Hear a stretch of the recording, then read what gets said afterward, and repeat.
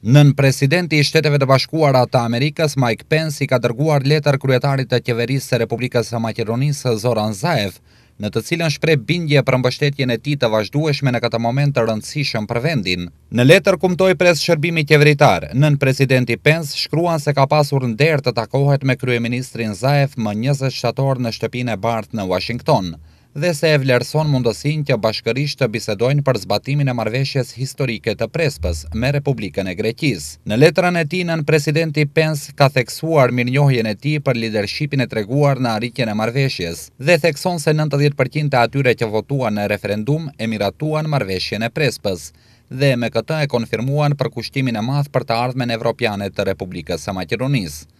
Shtetet e Bashkuara të Amerikës e ndajnë përkushtimin tuaj për siguri dhe stabilitet më të madh të rajonit. Jini të bindur në mbështetjen time të vazhdueshme në këtë moment të rëndësishëm për vendin tuaj, shkruan nënpresidenti i Shteteve të Bashkuara të Amerikës në letrën e tij deri te kryeministri Zaev